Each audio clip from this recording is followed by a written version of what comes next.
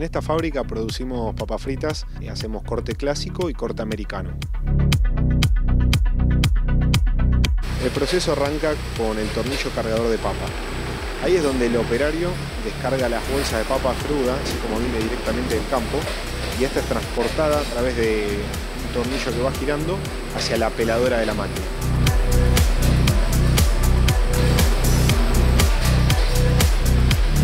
Ahí cae la papa cruda y gira constantemente y tiene las paredes internas del cilindro que son abrasivas. Entonces esto lo que produce es el desprendimiento de, de la piel de la papa y va generando un pelado parcial. El tercer paso es el tornillo transportador hacia la cortadora.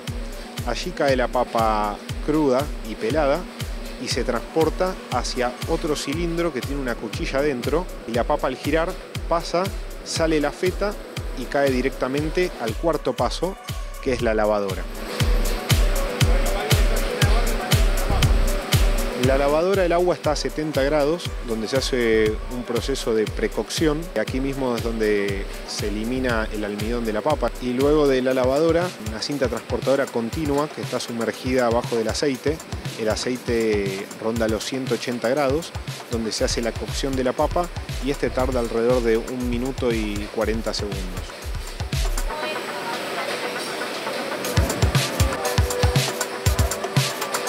Ya en la salida del freidor, otra cinta transportadora hace el secado de, de, la papa, escurre el aceite sobrante y este ingresa la papa hacia un tambo giratorio, que es el tambo salador.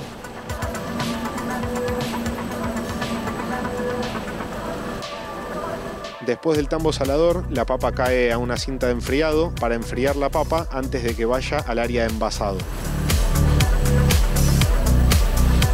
Una vez que sale de la cinta de enfriamiento, la papa cae en unas canaletas y allí es donde se ubican las balanzas que van a medir el pesaje para poder dosificar adentro de cada paquete. Y una vez que caiga la papa dentro del paquete con su peso justo, sale una cuchilla de la envasadora que hace el sellado con calor y tenemos el paquete como resultado final.